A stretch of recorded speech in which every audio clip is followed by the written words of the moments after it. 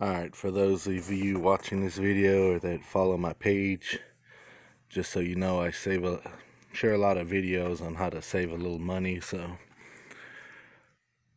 the reason I'm showing this Napa bucket here, you can actually save some money with Napa when they have these bucket sales. Pretty much anything you could fit into this bucket, you could save 20% off. So the bucket costs like $2.99. Uh, I spoke with the manager. He said it includes batteries, alternators, whatever.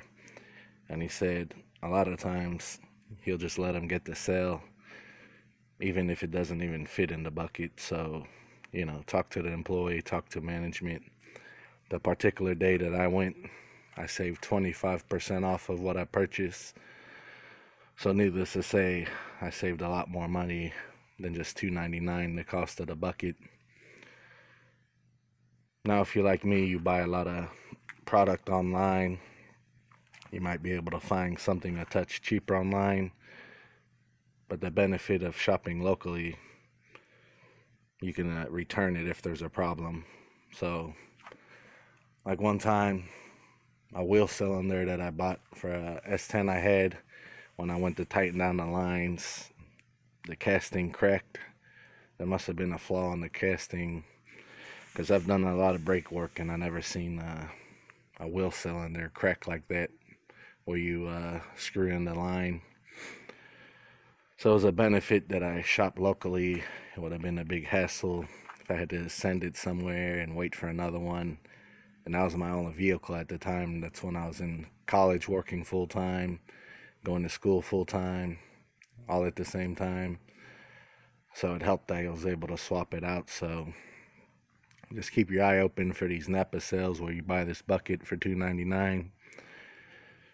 Save 20% off. And like I said, a lot of times, even if it doesn't fit in the bucket, like the manager told me, he'll pop, the, a lot of times they'll let you go ahead and uh, have the sale anyway.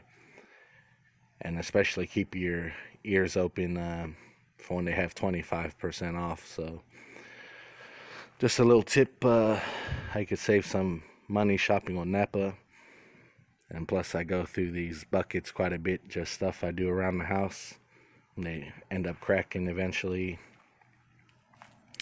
Uh, and they start breaking down over time just being out in the sunlight. So, alright, I hope this tip helps uh, a few people out there save a little money. Uh, definitely worth it. If anything, please like, share, and comment, and let me know if there's anything in particular you'd like me to review. If anything, take care, and uh, thank you for your time.